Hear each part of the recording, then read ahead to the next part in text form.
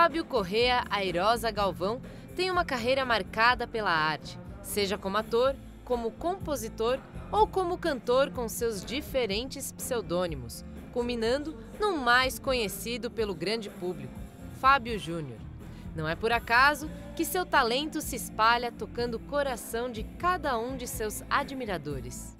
Que toque uma pessoa, depois a outra, que fala com a outra, depois vem o público, vem as fãs, vem.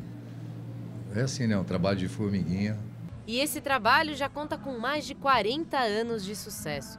Uma trajetória de incontáveis êxitos e sempre com o apoio incondicional das fãs. A carreira a gente faz assim. Se não fossem nossos fãs, a gente não existiria, né?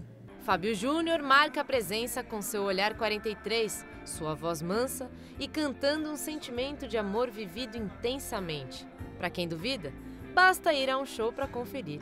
Clarissa Brito para a Rede Vida de Televisão. Minha